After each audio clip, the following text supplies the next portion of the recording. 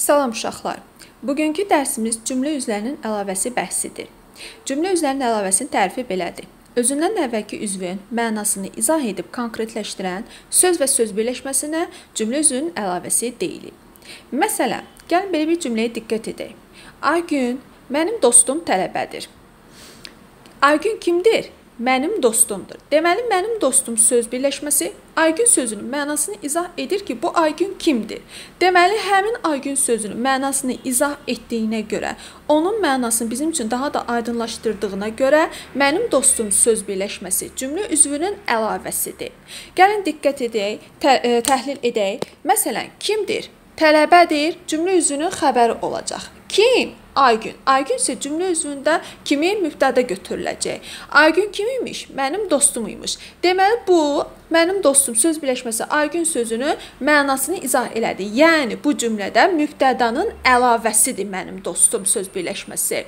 Əlavə həmişə aid olduğu üzdən sonra gəlir və aid olduğu üzlə bir yerdə cümlə üzü götürülür. Yəni bu cümlədə cəmi bir mübtəda var. 2 dənə mübtəda yoxdur. Və əlavə mənim dostum 3-cü növ təyini söz birləşməsi ilə ifadə olunub. Digər cümləyə diqqət edək. Orxanı qonşumuzu gördüm. Or nə etdim? Gördüm. Kimi? Orxanı cümlənin tamamlığıdır. Orxan kim imiş? Qonşumuz. Deməli qonşu sözü Orxan sözünün mənasını bizim üçün izah elədi ki, Orxan kim idi? Və bu tamamlığın əlavəsi hesab olunacaq.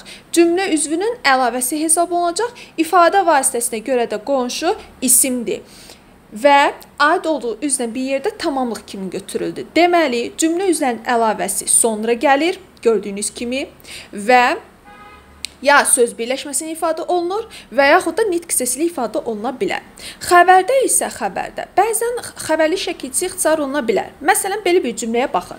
Evimiz orada, kəndin aşağısındadır. Evimiz oradadır. Bura biz dır xəbərli şəkilçisi artıra bilərik. Kəndin aşağısındadır. Söz birləşməsi isə oradadır xəbərinin nəyi sayılacaq?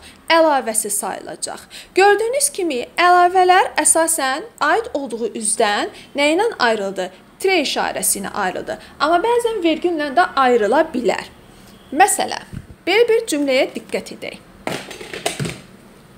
Mən Əliyev Rəhim şagirdəm. Kim? Mən şagirdəm. Mən kiməm? Əliyev Rəhiməm. Deməli bu Əliyev Rəhim mən mübtədasının ə, e, əlavəsi sayılır, çünki onun mənasını bizim üçün izah elədi, aydınlaşdırdı, daha da açıqladı. Lakin burada əgər diqqət eləyirsinizsə, diqqət eləyirsinizsə, əlavə hər iki tərəfdən vergüllə ayrılır Xəbər birinci şəxsin təkindədir. Mübtədamız da birinci şəxsin təkindədir. Lakin əlavə üçüncü şəxsin təkindədir.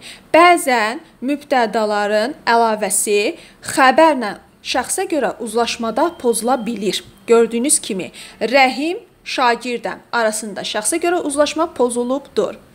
Lakin bəzən isə əlavələr, yəni bağlayıcısı ilə də ayrıla bilər. Məsələn, dünən, yəni ayın 6-sı şənbə idi. Nə vaxt şənbə idi dünən? Dünən nə vaxt imiş? Ayın 6-sı imiş. Gördüyünüz kimi ayın 6-sı dünən zərfliyinin, zaman zərfliyinin əlavəsidir. Həmin əlavə aid olduğu üzdən, yəni bağlayıcısı ilə ayrılıbdır. Yəni bağlayıcısına ayrılan zaman özündən əvvəl vergül işarəsi qoyulacaq. Yadda saxlayın ki, bütün cümlə üzlərinin əlavəsi var. Təkcə cümlə üzlərinin deyil, eyni zamanda xitabın da, söz birləşmələrində əlavəsi olur. Məsələn, baxın, Orxan, qardaşım, necəsən? Burada Orxan, qardaşım sözü Orxan xitabının əlavəsi hesab olunur. Yəni təkcə cümlə üzvün deyil, xitabın da əlavəsi oldu. Eyni zamanda söz birləşmələrində əlavəsi olur. Məsələn, gəlin diqqət belə bir cümlələrə diqqət edək. Ora kursa tərəf gedəndə dostunu gördü. Nə etdi? Gördü, xəbərdi. Kimi gördü dostunu? Nə zaman gördü? Ora gedəndə. Gördüyünüz kimi ora gedəndə Trenin əvvəli, trenin sonrası ilə birləşərək bir yerdə cümlə üzvü oldu. Müstəqil cümlə üzvü olmadı.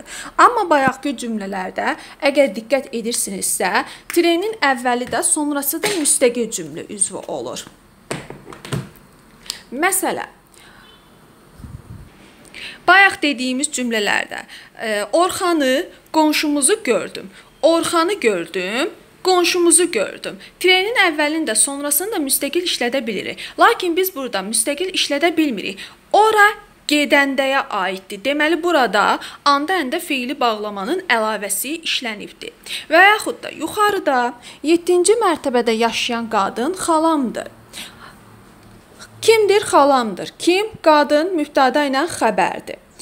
Hansı qadın? Yuxarıda yaşayan qadın. Burada isə feili sifətin əlavəsi işlənibdir.